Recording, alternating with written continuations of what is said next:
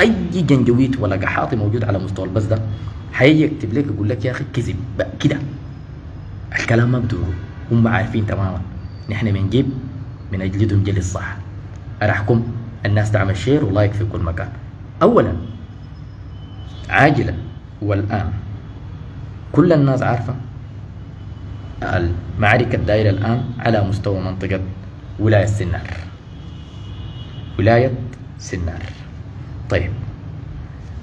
قبل كم يوم الناس عرفت تماما إنه عمليات الإمداد اللي بتجي لميليشيات الجنجويد وبالدليل جزء منها كان بيجي من جنوب السودان. جزء منها بيجي من جنوب السودان وبأدلة.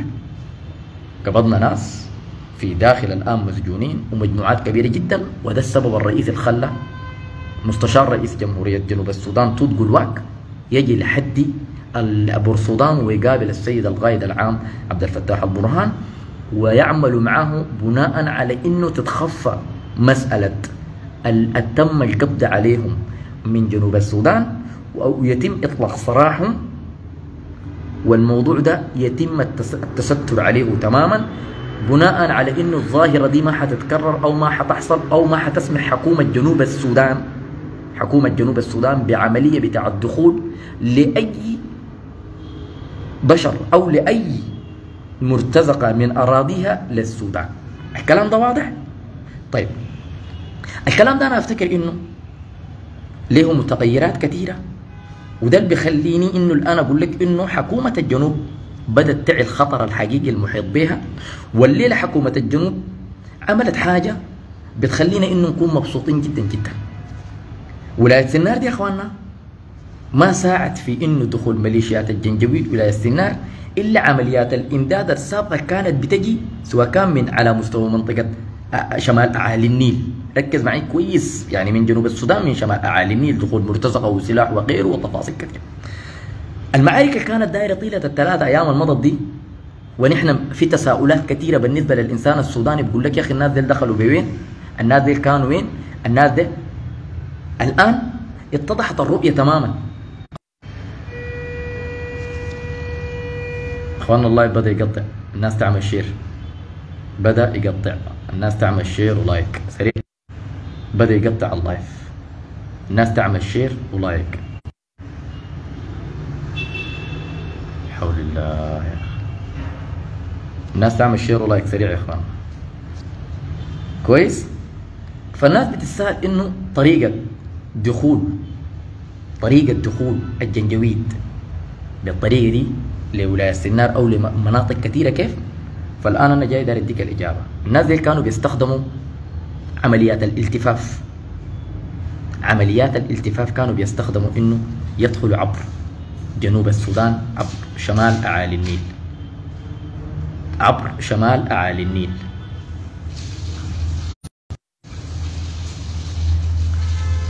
عبر شمال أعالي النيل. الكلام ده الآن عبر شمال أعالي النيل. بيدخلوا بيعملوا عملية بتاعت التفاف طلعت 80 عربية قتالية من ميليشيات الجنجويد بكامل عتاته من عن طريق الداري والمزموم دخلت لمنطقة الشمال أعالي النيل. الكلام ده عاجل والآن؟ الكلام ده الآن. أنا بديك حاجة اسي الآن. دخلت. لدولة جنوب السودان عبر شمال أعالي النيل. 80 عربية قتالية بقيادة واحد من ميليشيات الجنجويد برتبه عقيد خلع. حكومة جنوب السودان حكومة جنوب السودان عملت حاجة مهمة الليلة. تم القبض على الثمانين عربية الآن وموجودين الآن في أعالي النيل ولاية أعالي النيل الآن الآن 80 عربية قتالية بكامل تسليحهم تم القبض عليهم. وأنا الكلام ده أقول لكم متأكدين 100% منه الآن. ومحتمل إنه الآن حكومة جنوب السودان تطلع في عملية بتاعت لقاء تلفزيوني بعد شوية على أساس إنها تأكد المسألة دي. وده بيخلينا إنه نقول إنه حكومة جنوب السودان وعت الدرس وعرفت تماما إنه المرحلة القادمة دي يجب عليها إنها تشتغل مع تشتغل مع القوات المسلحة بناء على بقاء الدولة السودانية بيعني بقاء هذه الدولة دولة جنوب السودان. الكلام ده الآن ونتوقع في اللحظة دي آه، بيان لحكومة جنوب السودان إنه تم القبض على 80 عربية قتالية تتبع لميليشيات الجنجويد الآن. ده جانب. الجانب الثاني ده تقرير بتاع موقف حقيقي. الجانب الثاني والمهم جدا جدا الموقف العملياتي. أول حاجة كلكم عارفين تماما إنه فاشر السلطان.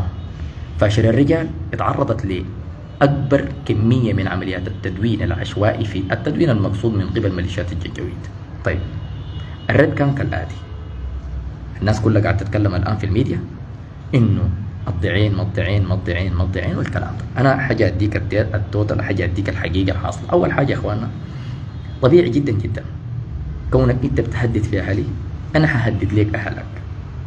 الحاجة دي يا إخواننا نحن مسار الحرب.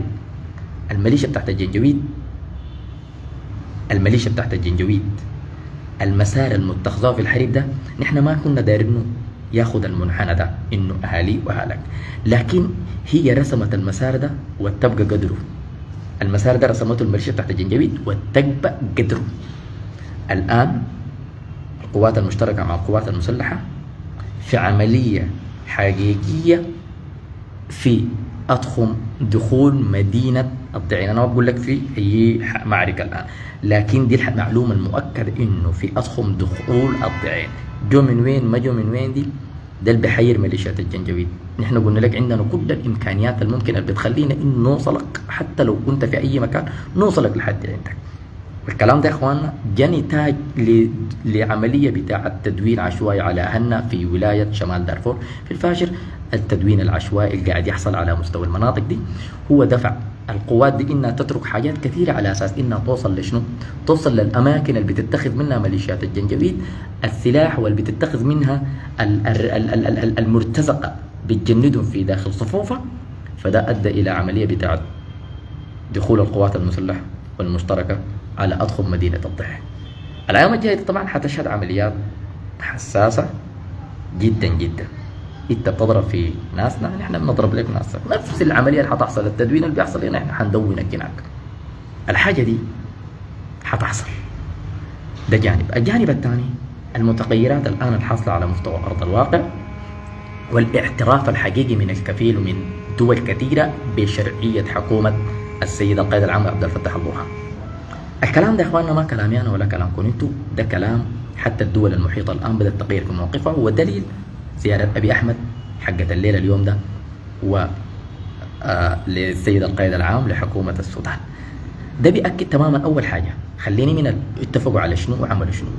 أول نقطة الاعتراف الضمني بحكومة السودان إنما حكومة بورسودان زي ما بيقولوا كحاطة واثنين ثلاثة. الحكومة دي أصبحت هي حكومة السودان ودي حكومة الأمر الواقع.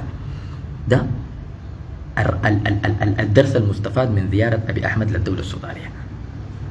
قابل قيادة الدولة السودانية المسرف عبد الفتاح البرهان إن قبلت به أو لم تقبل به دي الحقيقة الآن الحاصلة. دي حاجة. الحاجة الثانية والمهمة شديد اللي هي الزيارة بتاعت نائب وزير الخارجية السعودي. ونحن مفتكرين انها دي زيارة إيجابية والردود منها على حسب المصادر بتاعتنا وعلى حسب الناس المقربين منه إنه المناقشات أو محور ال محور ال ال ال ال النقاش كان في تفاصيل الرجوع لمنبر جدة وكانت الردود واضحة. وأنا أفتكر كل أبناء الشعب السوداني شاهدوا الردود الواضحة اللي هي نتجت من السيد عبد الفتاح البرهان في إنه ما عندنا مشكلة في إنه يكون في نرجع لمنبر جدة ونست تكمل ما بدأناه في 11 أبريل 2023 ألا وهو تفاصيل واضحة في خروج ميليشيات الجنجويد من الأعيان المدنية والتفاصيل دي. إذا وافقت الإدارة السعودية والإدارة الأمريكية في إنه تقنع ميليشيا الجنجويد بالخروج من كل الأعيان والتفاصيل دي فنحن ما عندنا مانع بكرة بنمشي بنقعد مع معاكم في جدة بنرجع بنستكمل ما بدأ في 2023 في مايو.